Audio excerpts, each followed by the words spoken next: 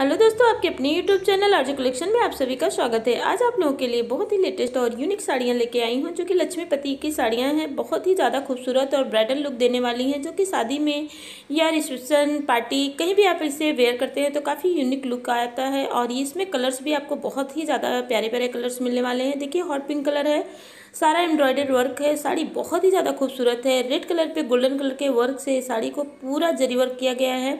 और काफ़ी unique design से इसे अगर शादी या पार्टी में आप वेयर करते हैं तो बहुत ही खूबसूरत और यूनिक लुक आएगा, जिसे आप भीड़ में भी एकदम डिफरेंट और एकदम अलग दिखेंगे।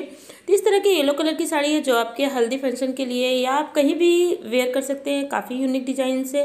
रेड कलर दुल्हन के लिए बहुत ही ज़्यादा खूबसूरत और शुभ कलर माना जाता है, जो कि ज़्यादा दुल्हन यूज़ करते हैं। बाकी रेड कलर सबके फेवरेट होते हैं, बाकी लोग भी इसे बहुत ही ज़्यादा यूज़ करते हैं। और यहाँ ज़्यादा से ज़्यादा साड़ियाँ आपको ब्राइडल लुक की साड़ियाँ हैं, ब्राइडल कलर की साड़ियाँ हैं, इसमें आपको लाइट कलर की साड़ियाँ बहुत ही कम मिलेंगी।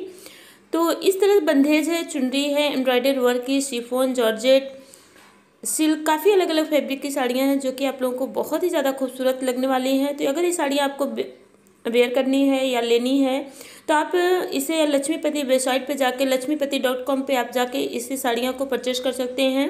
ये लक्ष्मीपति के ब्रांडेड साड़ियाँ हैं, जो कि आप अगर कहीं से लेके, लेते हैं तो आपको लोकल ब्रांड मिल जाते हैं। तो अगर आप लक्ष्मीपति ब्रांड पर जाके और ये साड़ियाँ वहाँ से परचेज़ करते हैं तो ये साड़ियाँ आपको वहाँ से जो ओरिजिनल क्वालिटी की साड़ियाँ होती हैं, वो आपको मिल जाएँगी और बहुत ही ज़्यादा खूबसूरत लुक और यूनिक डिज़ाइंस होती हैं। लक्ष्मीपति की साड़ियाँ थोड़ी सी महँगी होती हैं, लेकिन इसके जो लुक होते हैं, इसके जो वर्क होते हैं, बहुत ही ज़्यादा फिनिशिंग और सफ़ाई का वर्क होता है। इसलिए ये थोड़ी महँगी पड़ती है, लेकिन फिर भी इसे लोग बहुत ज़्यादा पसंद करते हैं।